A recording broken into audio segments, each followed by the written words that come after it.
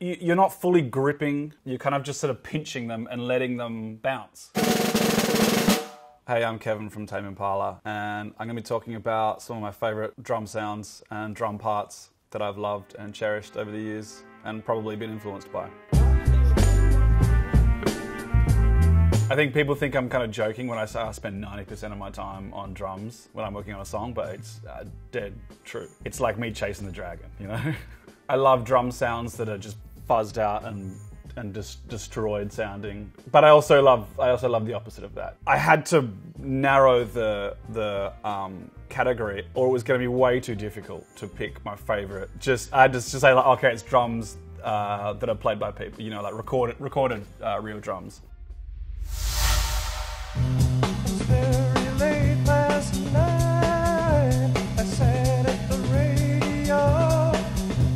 I think that one's incredible because that was recorded in like 67 or something. It's like a breakbeat. It's like a breakbeat before there were breakbeats. It's so uh, robotic and repetitive that I feel like if that song came out today, it would be filed under electronic, you know, even though it's just someone playing the drums. The hi hat, which goes up and down, you control it with your left foot. When you play a sort of uh, jazz beat, you, you, you keep that going to keep time. But if you're really clever, you can do it on the offbeat, which means you do it uh, you do it in between those on beats. So instead of going, you go.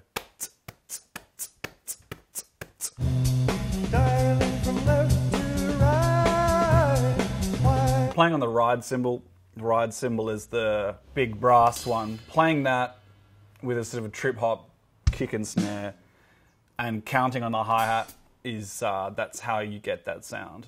I feel like everyone has that like riff that they just play when you pick up a guitar. You, it's like muscle memory. Like that beat is the one I do when I jump on when I jump on drums now because it sounds the coolest. Now I've reached that age, I've tried to do all those things the best I can. obviously no uh, discussion about drum sounds and drum playing would be complete without talking about John Bonham and the Led Zeppelin drum sound. Like the famous Led Zeppelin drum break is uh, Levee when the levee breaks. So I was gonna do when the levee breaks, but I kind of just feel like everyone else is, it, it's it's been covered. You know, I feel like most people got the wrong idea. Like there's this idea that Led Zeppelin drums are like super like powerful, solid. People say like hit like a bricklayer, but I don't think that's actually true. I think there's a lot more of a delicate way that he played. The way he sort of goes from smacking the drum and playing a teensy little ghost note. It's just a really quiet hit, and it's it's usually a really quiet hit in between a normal hit. It's it just adds dynamic to your playing.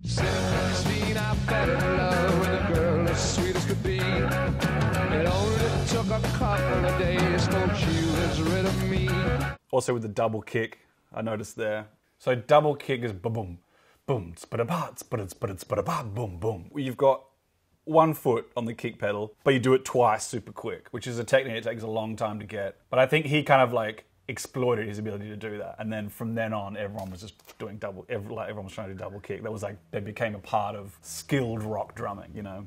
Now I've reached that age, I've tried to do all those things the best I can. So I think the reason why people think that Bonham hit the drums so hard and why people, when they try to replicate Bonham, they just smack the drums is because the compression makes it sound louder than it is. You can hit a drum quite quietly, and using compression, you can make it sound a lot more energetic.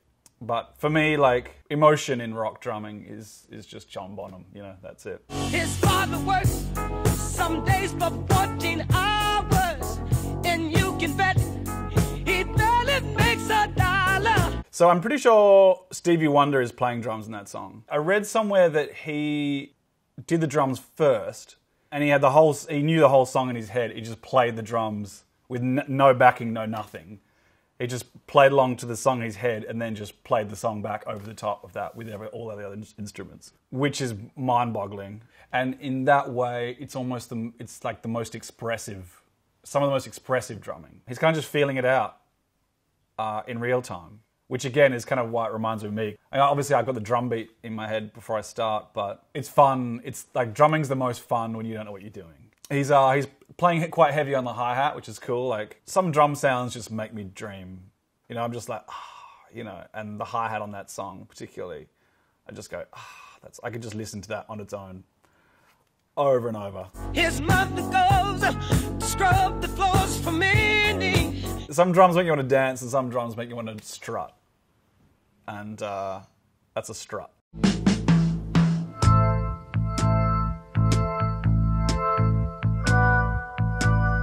I just love that um, counting on the hi hat in that song, and it's just so it's so brooding and so ominous, even.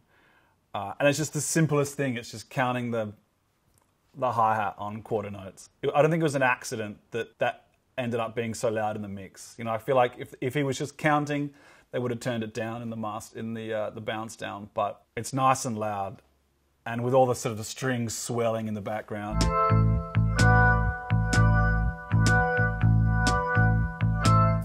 There is something categorically different and, and qualitatively different about someone hitting something, multiple hits of the same thing, versus someone hitting it once and then digitally reproducing it. I believe that the brain can pick up when something is being digitally reproduced. If it was someone they just sampled a hi hat and they just played it, I think that would give a different feeling to the sound of someone just going. Do you know what I mean?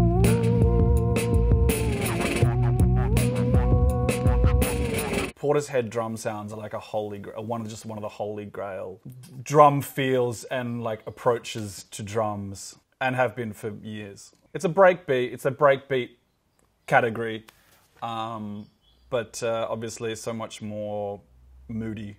I love. I just love Geoff Barrow's approach to drums. It's a pretty standard pattern. He does a. Um, actually, I don't actually know what that's called at the end. Like a uh, buzz roll.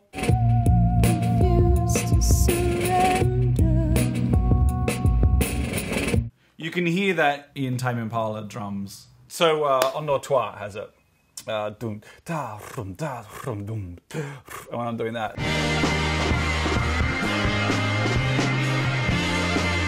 It's like a marching, marching uh, technique. You sort of push it into the drum so that it, it sort of bounces along. So you're bouncing the sticks on the um, on the skin, and it just creates this kind of flutter of sound, which is just so it's just so kind of like cool sounding. Uh, do you want to get us the uh, snare drum on the uh, Ludwig?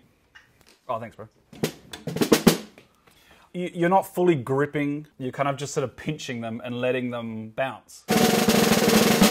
I actually have really bad technique. Like I've never, I never got taught to do that. I kind of just did it from ear. Strung out until ripped apart. So those drums, they sound super impactful and punchy, but they're hitting it extremely quietly. But because of the compression, it sounds, it sounds like they're hitting it a lot harder than they are. It's too loud for the medium, and kind of it gets a bit crushed.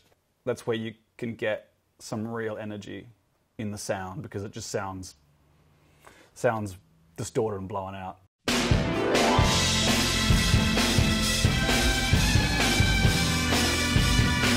Uh, so that's Steve Drozd playing drums there.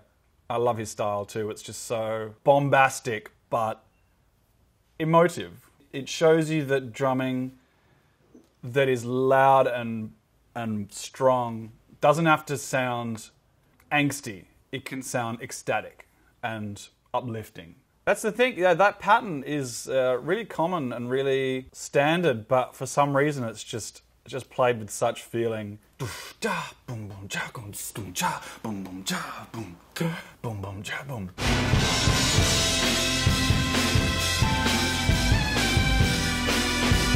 So those drums are super saturated. Saturation is kind of like the the classy word for distortion. Because distortion can sound angry and and and like you know metal obviously has a lot of distortion. Distortion is when the signal is too loud for what it's trying to get through. If this is a waveform, it'll cut it off there, so it'll go, "Ah," you know, and it can't.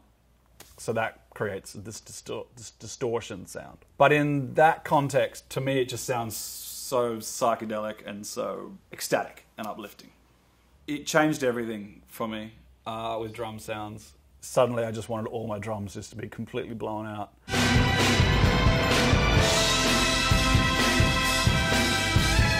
You can see where I where at which point I went to Japan and saw Flaming Lips live, and then went back and recorded Lonerism. The drums sounded like that. Like you can you can you can hear. So I mean, like a big part of me going to Dave Fridmann was like, I want that drum sound. You know, he's the one that mixed InnerSpeaker and Lonerism. I'd be uh, remiss if I didn't mention his name in all this because he was he, it's um, his production that led to that drum sound.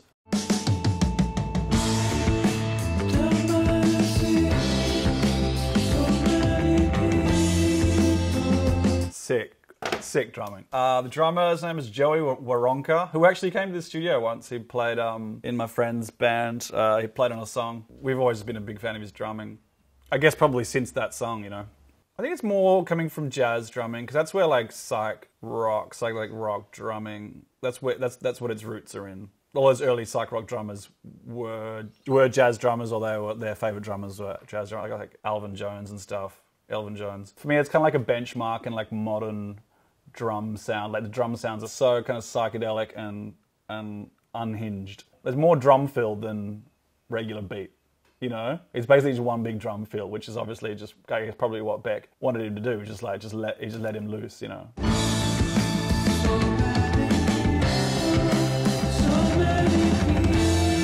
Uh, because it's just such a free sound. You know, it's just someone just rumbling around the kit, not feeling like they're that they have a job to like hold down the band. You know, because like traditionally that's the drummer's role. It's like you're holding down you know, the rhythm section, holding it down. But like that's that that's a song that that's a good example of. It's not that's not the drummer's role. You know, the drummer can be going wild over the top.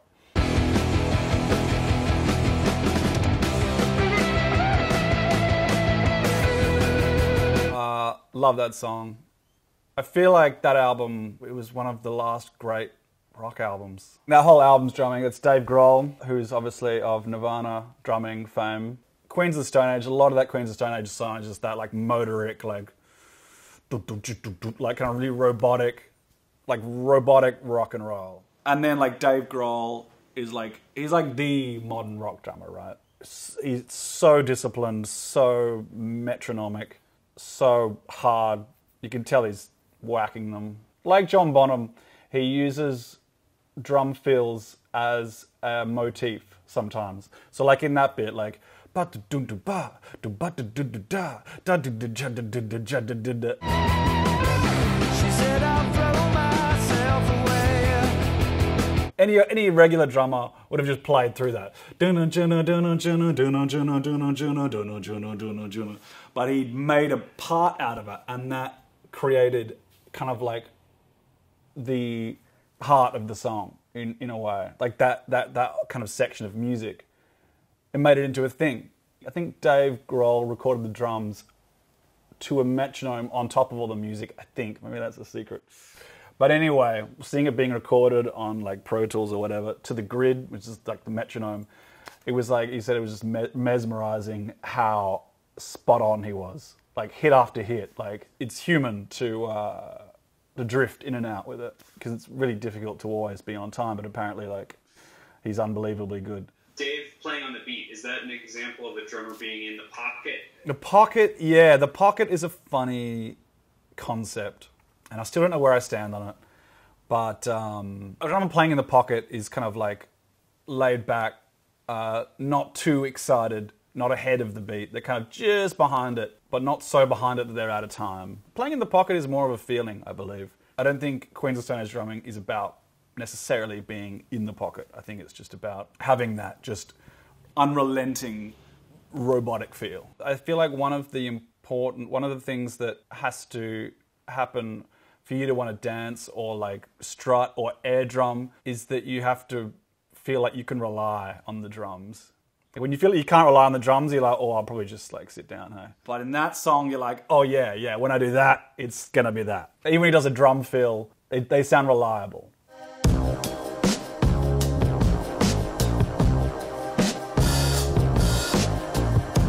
when I was asked to pick a couple of my own songs for drum sounds. After having listened to all my favorite drum sounds, listening to mine, I was like, that's trash, that's trash, trash. Even though I care so much about my drums, and I'm and I am proud of them. I'm proud of my drum sounds, but uh, it was tough. I'm playing a pretty sort of standard hip hop beat, moving from normal snare hit to a rim shot. In fact, you can hear the start of that song. You can hear me. I haven't quite decided on how I'm going to hit the snare. Rim shot is when you hit like just the rim of the snare. You get that kind of.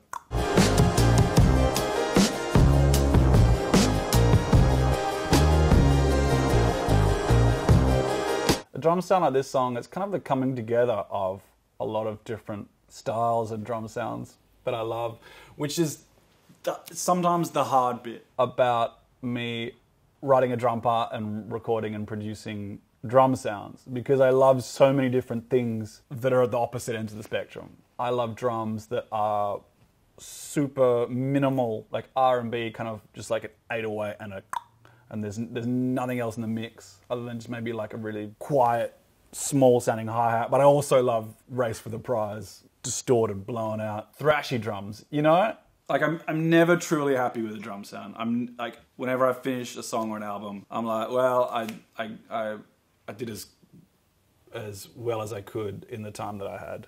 You know, I send it off to the master and it's like, it wasn't the best drum sound, but I'll get it next time, you know. Like, it must be like a month later, a couple of months later, I was walking past a bar. You kind of hear the drums before you hear the music, and I was like, oh, that's a nice drum sound. And it was that song. I was like, oh shit, it's me. Oh shit, it's New Person. I was like, that was a great snare sound. I remember thinking, like, great snare sound. I should, I should be shazamming this, you know? Which I guess shows me that, like, you, you're, you're your own worst, harshest critic. So it, took me listening to it thinking it was someone else's drum sound for me to actually appreciate it, which, you know, that's just the way it goes, I guess. Yeah, it was good enough for Rihanna, apparently.